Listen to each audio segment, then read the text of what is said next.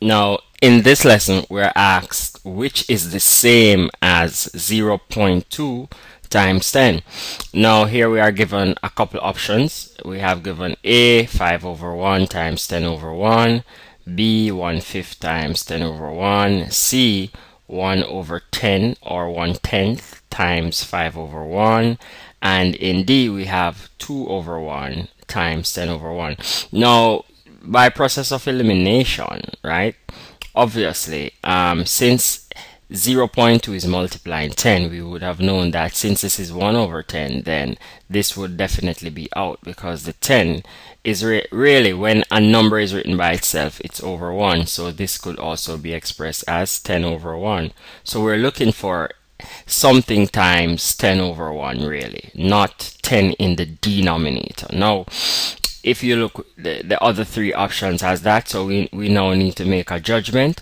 Now what I'm asking myself here now I have a 0.2 times 10 over 1 now I need to know what is 0.2 as a fraction okay? So let's just quickly convert 0.2 to a fraction and see see what it will result into.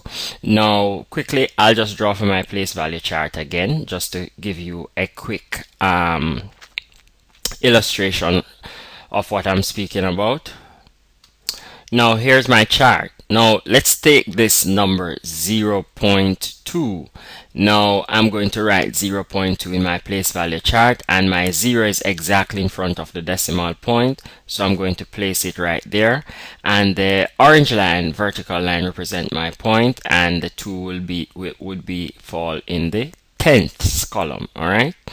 Now I, I, I'm converting the 0.2 to a fraction as I've stated before. So what I what I'm doing um since I'm converting to a fraction I'm going to take the face value of the digit which is 2 so I'm going to say 2 let me just do the workings here. Let me just do the workings over here okay so this is the workings to convert a decimal to a fraction. I'm going to take the face value 2 and I'm going to multiply it by the place value and it's in the tenths tenths column alright so I'm multiplying it really by 1 over 10 and 2 times 1 over 10 I'll have a I could put this over 1 so I will have 2 into itself goes 1 time and 2 into 10 goes 5 times. So up here I would have a 1 times 1 it would give me a 1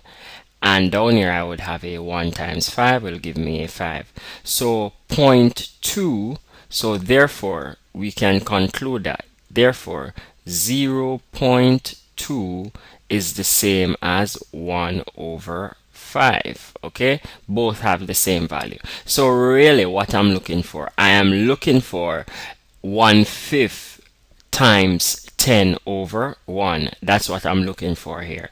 And here in part B we have it okay? We would have 1 fifth here in part B times 10 over 1 so this would be our correct answer alright and it's it's that easy. Alright feel free to leave a comment or a question if you're not sure and we'll get back to you as soon as possible. Bye bye